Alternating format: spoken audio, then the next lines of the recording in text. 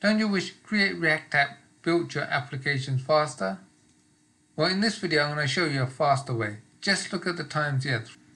3 minutes and 52 seconds for Create React app and 55 seconds for Vite. That's how quicker it was for me. So it can be for you too. Hello there, in this video I'm going to be showing you a faster way to uh, start a React app projects. Usually when I'm starting a new project, I usually go to NP, I used to run npx create react app and that will build my starter files. Now uh, the thing is it, it usually takes about uh, three to four minutes uh, on average uh, to install uh, a, a React app.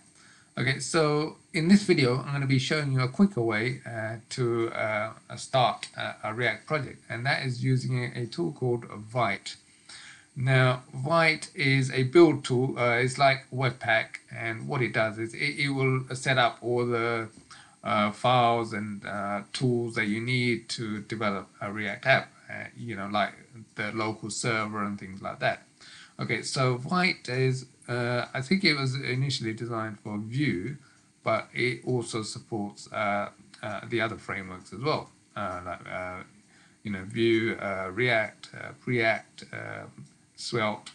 So you can use it for the ones listed here. So I'm on the Vite document site here.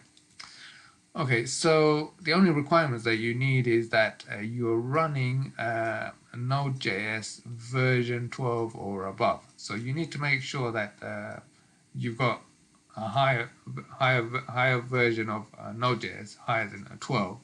So if I go into the command prompt and I can just check, if I type in uh, node space hyphen hyphen and its uh, version. And it'll tell me that I'm using version 14.17 uh, so I'm okay. Uh, so you need to make sure before you run this uh, you need to make sure that you know you're running that version uh, or any, any anything higher than 12 will do. Okay so what I'm going to do is I'm, in this video I'm going to be testing both of them and uh, just uh, highlighting how fast Vite is. So first I'm going to create a React app uh, using create react app. And um, and as you can see on the react documentation you know I you need node 10.16 or above and npm uh, 5.6 and above. So I, I can just test uh, what version of npm I've got as well npm uh, dash dash version Okay, so I'm using 6 6.14. So uh, that's that's okay. So first of all, I'm going to run npx uh, create react app. Okay, so I'm going to just copy that and go to the command prompt. I've created a folder here already, React test, so I'm going to just type it in there. So I just delete that and call it uh, my CRA app, which is uh, create React app. Okay, so I'm just uh, press enter on that and I shall time it.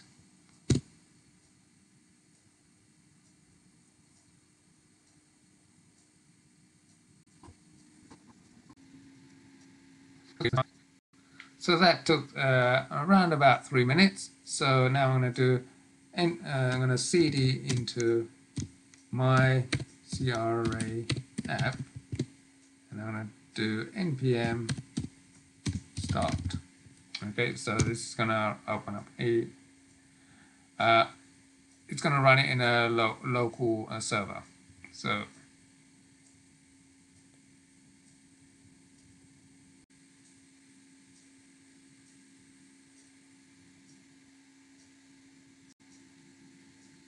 And there you go, it's installed. So that took another sort of a uh, around about 30 to 40 seconds as well. It took me about four minutes to sort of uh, uh, go from running npx uh, to open it up in the browser.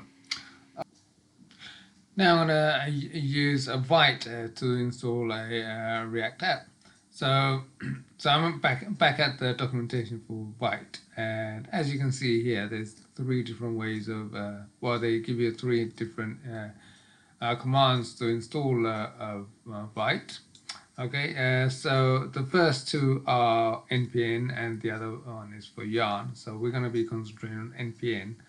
So the npm, uh, you know, uh, if you got npm version 6, then you use this one. Uh, if you got npm version 7 plus, then you use this. So if I go back to the command prompt and I just type in npm version, oops, npm dash dash version, okay, so it will tell me the version, so I've got 6, so I'm going to be using this one. Okay, so I'm just going to copy that and paste that into back in the uh, React test directory in the root. Okay, just uh, install that. But I'm gonna now um, the this particular. If I go back, okay, so the the instruction contains um, you know, the, uh, uh, two parts here. It's, it's got the white uh, at white test in it. So you got the uh, um, init Vite at latest. So that's basically telling it to install the latest Vite. And this is the application directory. And, and this will be the template that we're using. So we're going to be uh, using React. So we're going to be changing that part. And we're also going to change that um, uh, directory name uh, to whatever we want. Okay, so so I'll go back. All right, so I'm to change that Vue to React and then uh, I'm just to say my Vite right just and then just press enter there and then I'm to time this. Okay that took about uh, 3.8 seconds.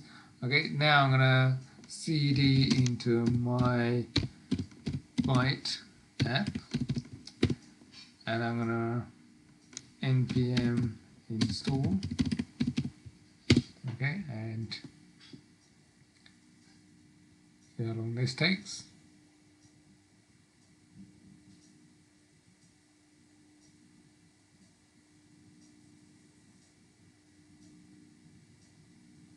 So there, there you go. That's uh, that's taken about 12 seconds. So now if I do uh, um, if I go back uh, yep it's npm run dev and this will run the local development server. So I have to, alright, if I copy that address into the browser, copy and so there you go, uh, a React app installed with Vite. That took 55 seconds. Hope you enjoyed this video and subscribe to my channels to see more videos like this. Thank you.